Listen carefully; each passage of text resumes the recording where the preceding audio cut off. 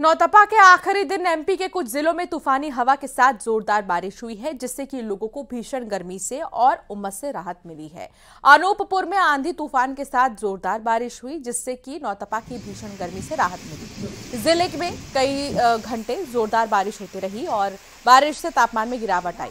तो वही सीधी की भी तस्वीर आप देख लीजिए। सीधी में भी मौसम का मिजाज बदला और तूफानी हवा के साथ आधे घंटे तक बारिश हुई, जिससे कि गर्मी से राहत मिली है।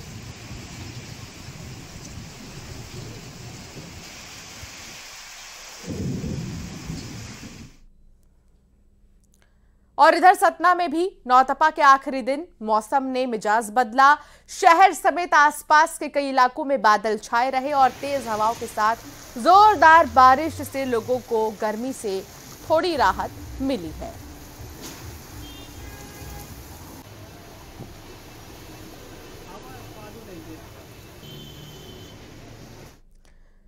ग्वालियर के माधवगंज में तीन बुज़ुर्गों की जान बाल बाल बच गई। दरअसल, साई कृपा अपार्टमेंट के एक फ्लैट में बयासी साल के आत्मराम पिचासी वर्षीय बहन शिला और 104 वर्षीय माँ दयावती के साथ रहते थे।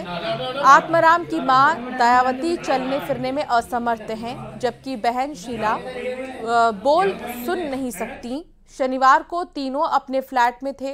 इस दौरान फ्लैट की चाबी गुम हो गई, जिसकी वजह से पूरा परिवार भीतर कैद हो गया।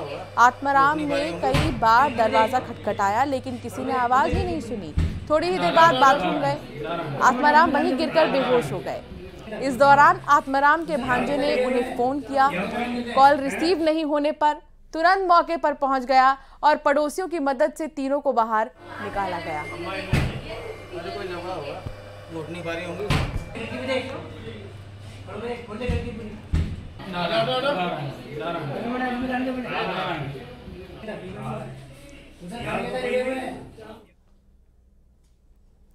आईपीएल में कोलकाता नाइट राइडर्स के लिए खेलने वाले बाएँ हाथ के स्टार बल्लेबाज वेंकटेश अय्यर ने शादी कर ली है। पिछले साल श्रुति रघुनाथन के साथ क्रिकेटर वेंकटेश अय्यर की सगाई हुई थी। उनकी पत्नी फ़ैशन डिज़ाइनर हैं। आईपीएल में ऑलराउंडर वेंकटेश ने जमकर धमाल मचाया था। वेंकटेश इंदौर के रहने वाले हैं और वो मध्य प्रदेश के लिए क्रिकेट खेलते हैं। वेंकटेश अय्यर की शादी की फ़ोटो सोशल मीडिया पर ट्रेंड कर रही हैं।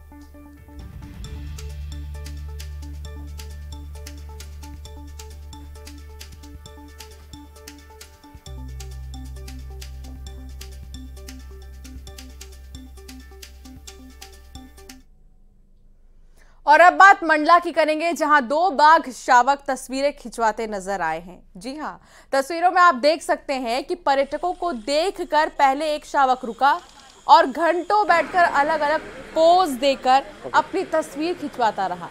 पहले शावक को तस्वीर खिंचवाता देख दूसरा शावक भी आ गया। और वो भी दूसरी तरफ़ खड़ा होकर पर्यटकों को अपनी ओर आकर्षित करने लगा। दोनों शावक कभी पत्थरों में तो कभी मैदान पर। बैठकर घंटों तस्वीर खिंचवाते रहे। दो शावकों को एक साथ देख पर्यटक भी रोमांचित हो उठे। आपको बता दें कि ये दोनों शावक कान्हा नेशनल पार्क की मशहूर बाघिन नीलम के हैं।